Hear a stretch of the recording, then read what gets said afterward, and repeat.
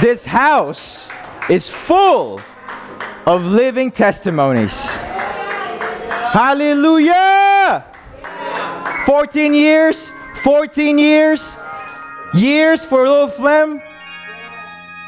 Times when we were lonely. But there's a song that there's my I'm gonna take a page from his old book that he used to sing all the time. Sister Deborah, you were alone for 14 years, but he was there all the time. He was there all the time. He was there all the time, waiting patiently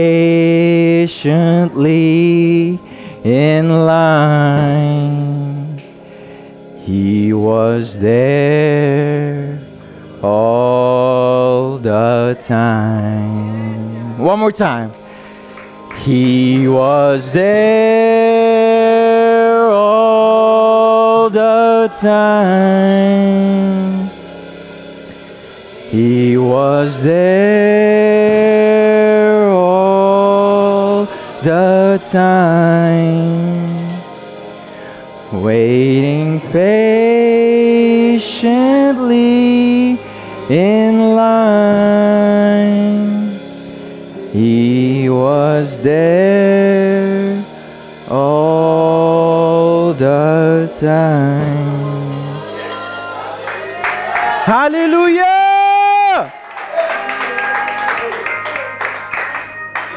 Oh, Maria never leaves our side. If you want a title for today's message, it is not He Was There All the Time. but we did sing it already. He is watching over. That's the title of the message. Oh, Maria is watching over.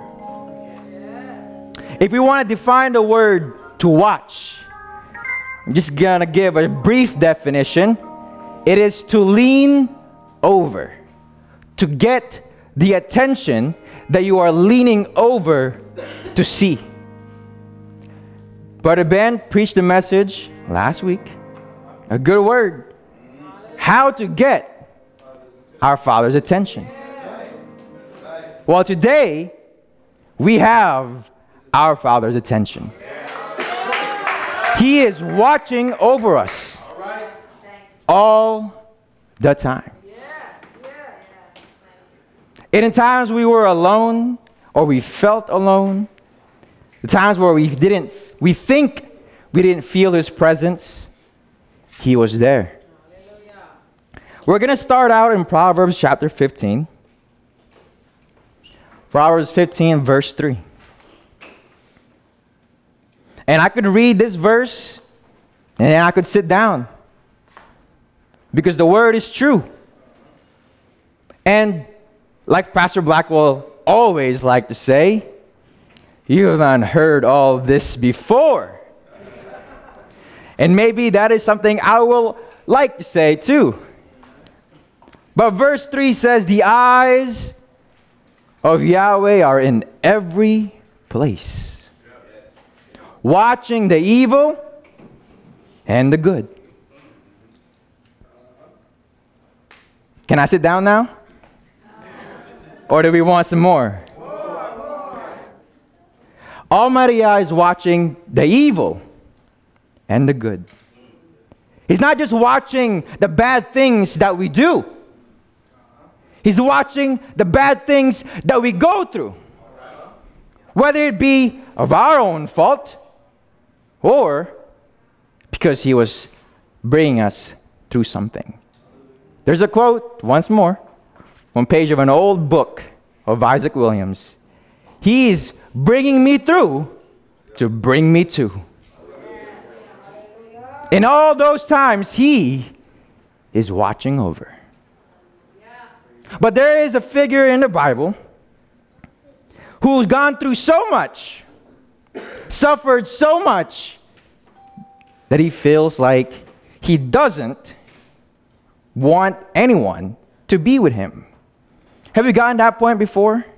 That we're so low that any company, any company, is bad company. I'm talking about brother Job. Job chapter 7, verse 4. Brother Job went through a lot, and he did not know why. And I think that's something we can all relate, especially when we're crying, we're pleading, and it seems like there's nothing answering. What it says here in verse 4 When I lie down, I say, When I'm going to rise, when am I going to rise? And the night be ended. For I have had my fill of tossing till dawn. When I lie down, I say, When shall I rise and the night be done? And I am full of tossings to and fro until the dawning of day. How many of us could not sleep? Butterfly, when you were praying for little Flem, when he was sick, when he was born, could you sleep? No, that's your child. Mama Audrey, when you were playing for Flem, could you sleep? No. I know my mom could not sleep when I'm out and about. We all can relate hmm, to Job. He says in verse 5, My flesh is clothed with worms and clouds of dust. Oh, my skin is broken and become loathsome. Oh, my days are swifter than a weaver's shuttle and are spent without hope. Can we imagine praying for the same thing for 14 years? For 30 years for some? Those days may feel like there's no hope. But some of us persevered because some of us, if not all of us, got what we were praying for. Hallelujah. Hallelujah. All of us got what we wanted through the Father's will. Those days that we thought had no hope, he was there watching over. Oh, verse 7 Oh, remember that my life is like a wind. Mine eyes shall see no more to see good. And the eye of him that sees me shall no more see. And thine eyes are upon me, but I am not. Sometimes the suffering that we're going through is all of it. That when we see people's eyes looking at us, we see their pity, we see the sadness in their eyes. We think they're not even looking at me anymore.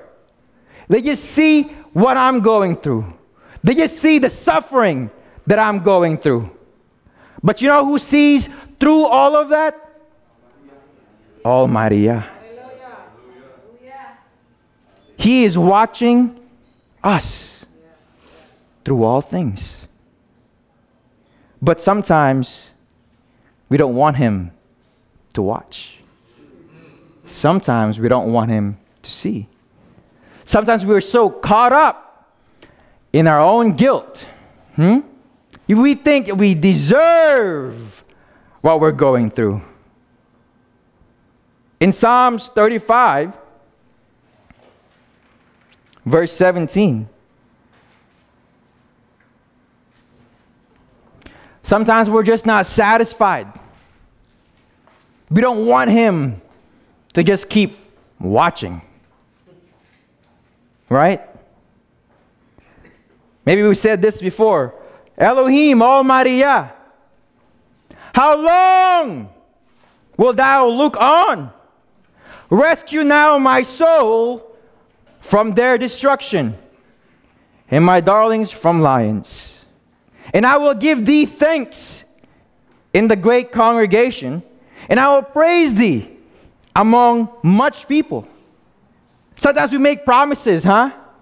That if Almighty just brings me through this one time, I will testify. But did we testify? Have we testified?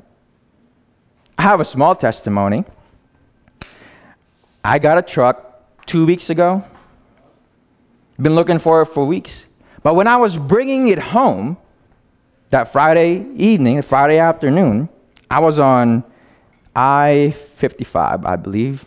And I was testing out the engine, as some of us might relate. So I was going 90, 95 miles an hour. I was in the left lane, and I was watching, I was paying attention.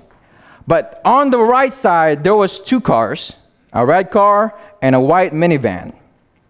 And I thought, I mean, I would think maybe I was a third of a mile behind that white minivan on the left lane. But all of a sudden, me going 95 miles an hour, that white minivan swerved left, almost hit the barrier on the left side, and then swerved right, thankfully, right in front of that red car. I know he fell asleep because he was able to pull over, and it was a guy just doing this. He was asleep on the wheel. But if I had been a few meters, yards closer, he would have hit me head on. And I would have fell on that barrier. That's a testimony. He was watching over me. I didn't have to ask. He already do it. Nobody but Yah can take care of that. Hallelujah. But how many of us have gone through pretty much the same thing? Sometimes we take for granted the goodness of our Most High Yah. Hmm? We make promises and promises and promises. Oh, if you just grant me this vehicle, I will go to your Shabbat every time. If you give me this job, I will give you my portion every time. Just like David here said, if you will look on me and save me from my coming destruction, I will praise you in the great congregation. David was making promises. Hmm? He says, But Father, please do not be far from me. That's when real loneliness sets in. When you could be surrounded by brothers and sisters, by children, by our parents, but we can still feel so lonely. There was a song I was listening to the other day, and one of the lyrics said, The world can't see, but a painted face still cries. We may not see it. We may not even feel it from our brothers and sisters. But they might be crying on the inside while they're laughing with us on the outside. But I'm here to remind us that no matter how lonely it feels, that even if it doesn't feel like Almighty Yah is with us, He is always watching.